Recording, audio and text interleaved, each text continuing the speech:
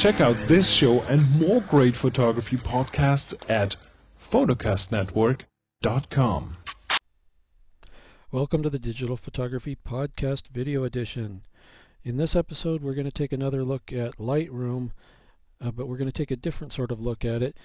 Everybody knows that Lightroom is a RAW file processor, and if you shoot RAW, you have a program like Lightroom or Aperture or Adobe Camera Raw that you use to process your RAW files. But I think a lot of people that still shoot JPEG uh, overlook these programs because they just figure they're for uh, processing RAW files.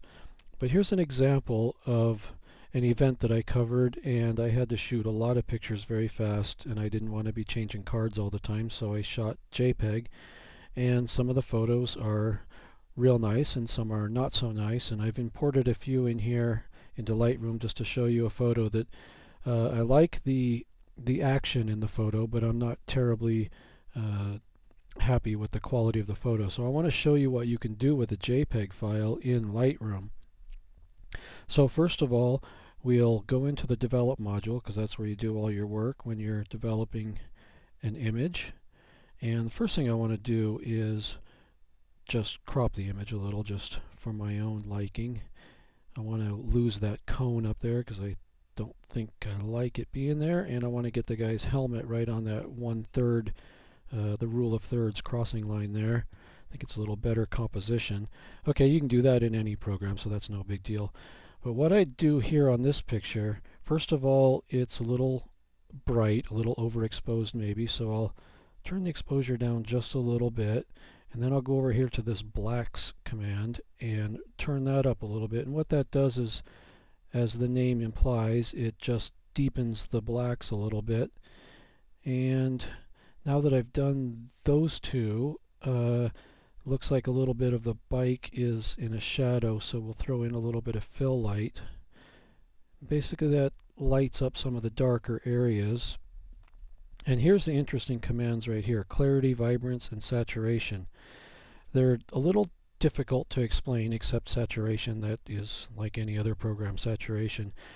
But I've found that if I bump this up right around 60-ish, and bump this up right around 40, and then pump up the saturation a little bit, it just makes the image pop a little more. It's a, it's a its presence is increased, hence the name presence here. Okay, so we've done that. Um, let's go down here, look at a few other things. Sharpening. Masking is a command that I use quite a bit. If you hold down the Alt key and slide the masking, oops, sorry, let's see, we have to be zoomed into 100% to see the effect. Hold down the Alt key and slide the masking. What you do is you slide this over until you're seeing just edges. And actually just about all the way over in this case is about what I want. So what that means is I'm masking everything except the edges so I want to only sharpen the edges. Because back here in these rocks and things like that you don't want to be sharpening those. And then this is the actual sharpening amount adjustment. In this one you just kind of have to hold down the Alt key also which gives you this sort of grayscale look and then slide it over until you get the look you want. And in this case I'm going to go real extreme and just go all the way over. Now if you look here at the word team while I'm doing this, I'll go all the way back here, it's real blurry, and all the way here to the right it's very sharp. Okay, that's pretty cool, I like it that way. Let's see. So now I've got the before and after screens on here. You can see the image on the right. The colors pop a little more. The background isn't so washed out. The blacks are blacker.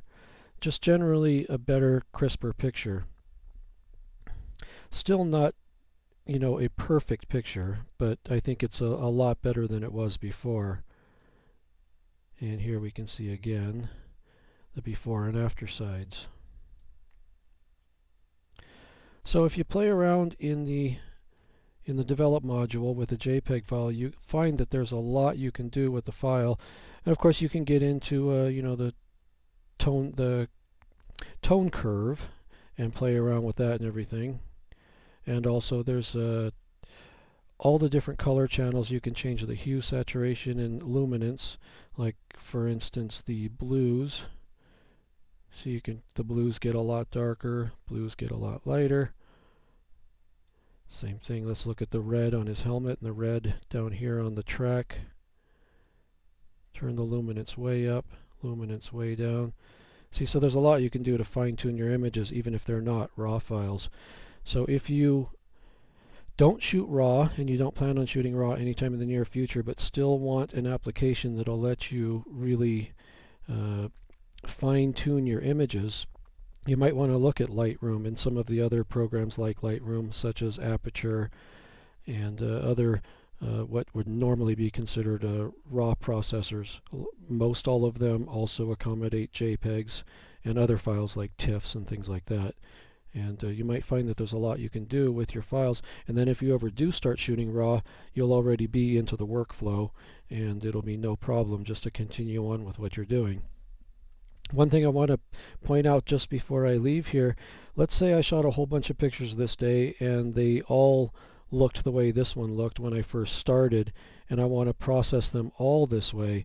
What I can do now is I can go over here to my presets and I can add a preset based on all of the changes I just made to this and call it Allen's motor cycle pics.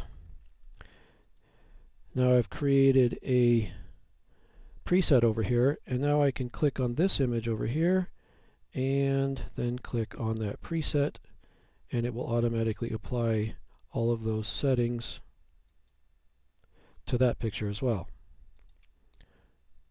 And there and let's look at this one. So once you go through all the work to create a preset uh, to create uh, all the settings that you for a batch of pictures you can save it as a preset. There you can see that picture just got a lot better. You can save it as a user preset and use it over and over and over again. So that's it for today. Just a quick look at Lightroom again and how it can benefit JPEG shooters. Until next time, keep on shooting.